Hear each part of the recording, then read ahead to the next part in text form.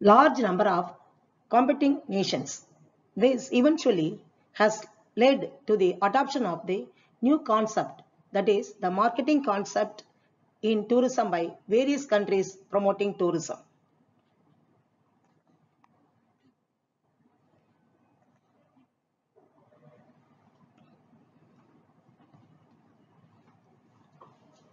The important point about modern marketing tourism is that it applies to situations where the choice can be limited to a relatively small number of brands, giving the consumer a reasonable choice. The process of selection thus becomes easier. In the field of tourism, this process is taking place by the increasing use of package tours. A package tours is a travel plan which includes most elements of vacation such as transportation, accommodation and sightseeing, the entertainment. The tourist product is a composite product whether it is sold as a package or assembled by the individual tourist himself or his travel agent. The tourist product can therefore be analyzed in terms of its attractions, its facilities and its accessibility.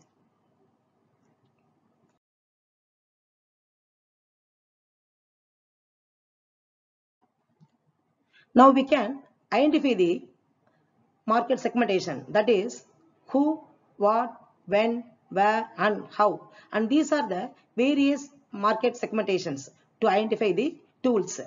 Who are the, that is who are in the market segmentation segment that we would like to have. Then what are the requirements? Then when do we promote our market segment? Then where do we promote to the product through which distribution channels? How do we develop marketing through the to reach the market? So these are the basic uh, market segmentation to reach the people. So for example, attract we can say attractions. The, of the of the three basic components of a tourist product, attractions are very important. Unless these are there, these are three, the tourist will not be motivated to go to a particular place. Attractions are those elements in a tourist product which determine the choice of a particular tourist to visit one particular destination rather than another. So the uh, attractions could be cultural like sites and areas of archaeological interest, historical buildings and monuments or scenic, scenic like flora and fauna, beach resorts, monuments, mountains, national parks or even like uh, trade fairs, exhibitions, arts and music festivals, games, etc. We can say about the uh, attractions. What are the facilities available in the field? We can see the facilities are those elements in the tourist product which are necessary aid to the tourist center. The facilities complement the attractions. These include accommodations, various types of entertainments, picnic, hills, recreation and so on. These are indeed important for every tourist centers. Then another, another segmentation is uh, accessibility. Accessibility is another important component in the tourist product. It is means by which a tourist can reach the area where attractions are located. The tourist attractions of whatever type would be a little importance of their locations are inaccessible by the normal means of transport. If the tourist attractions are located at places where no means of transport facilities, these become a little value. The tourist attraction which are located near to the tourist generating markets and are linked by a network of efficient transport receive the maximum number of tourists. So next, what is the uh, what do you mean by tourist markets? Identification of market like that of the product is crucial for any organization which adopts the marketing concept. In fact, the first step of marketing organization will have to take is to identify its markets. The term market is used in a number of ways. It may be employed to designate the place or where the buyer and seller of good service meets and between them the exchange transaction takes place. The buyer of goods or services may be the actual buyer or the potential buyer. It may be used in connection with a particular geographical area of the in connection with a particular type of the service or product. In the context of marketing, tourism and promotion, all of the above aspects are relevant, but especially those related to actual and potential buyers, to product and or service and to geographical locations.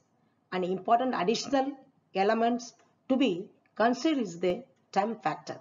The market, therefore, can be identified or defined as the, the totality of actual and potential buyer of a given product or service in a specific geographical location at a given point in time or during a given period of time. So next, we can identify the what is tourist market. A segment of the total market is of crucial importance with a view to avoid waste. It is essential to reach only that fraction of the total market which is most likely to be attracted. Due to financial constraints, it is not possible for an organization to reach the entire market. Segmentation of the market is therefore made in order to achieve the most efficient use of marketing resources. So now the market segmentation is the process of identifying groups of buyers of the total market with different buyer, buying desires of requirements. What are the advantages of the market segmentations? Number one is better place to spot and compare marketing opportunities. Second thing is makes finer adjustments of the product and marketing appeals possible to cater to the needs of the buyers and and it can develop marketing programmers and budgets on the basis of the clearer idea of the response characteristics or of specific market segments. Then what are the benefits of the market market segmentations? Understand what are the benefits. The benefits are understand the needs and wants to wants of customers. The second one is allocate marketing expenses efficiently. Further develop products or services. Then develop marketing strategies more pre preciously. Then, then there are three types of market segmentations. One is geographical segmentations, demographic segmentations, and psychographic segmentations. The under uh, geographical segmentation means under this the market is divided into different geographic locations such as cities, provinces, regions or countries. Demographic means this is one of the basis of the demographic variable such as age, sex, occupation, income, education, social class, religion, etc.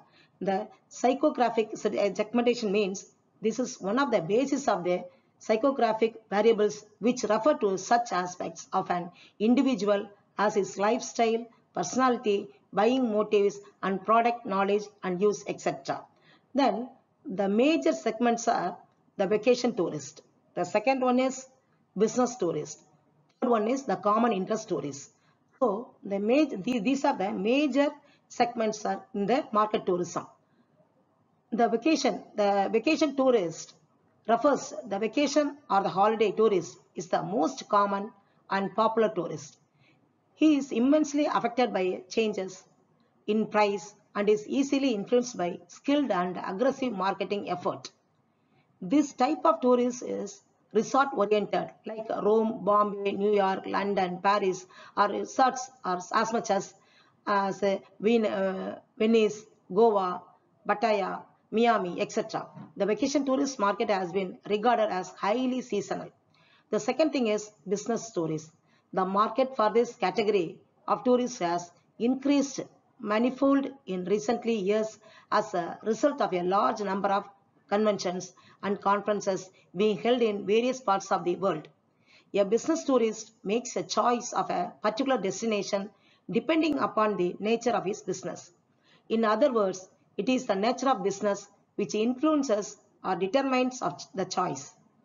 The marketing efforts, therefore, are not, uh, not of particular significance in influencing the choice of the business tourist. the demand for business tourism is comparatively priced itself easily. The demand also tends to be largely city oriented and the visits shorter and relatively frequent. The exhibitions, conferences, conventions, trade fairs and similar other events attract this kind of tourism. The third one is the common interest tourists. The group consisting of the common interest tourists comprises visits to one relative and friends, visit for the purpose of gaining knowledge or education for pilgrimages, etc. The demand for this type of tourism will be relatively price elastic. The average length of stay of this type of tourist will be relatively longer. Because of the presence of these relatives and friends, common interest tourists will not be a significant user of hotels and other such type of commercial accommodation.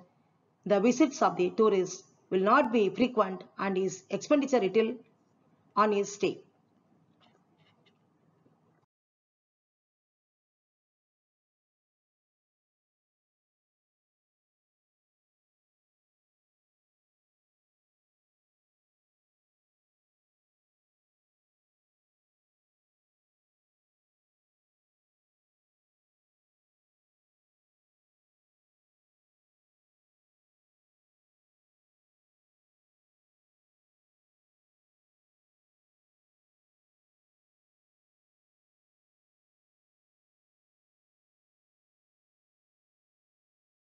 So, the marketing in tourism, due to the various factors mentioned above, as compared to marketing in other industries, needs a somewhat different approach.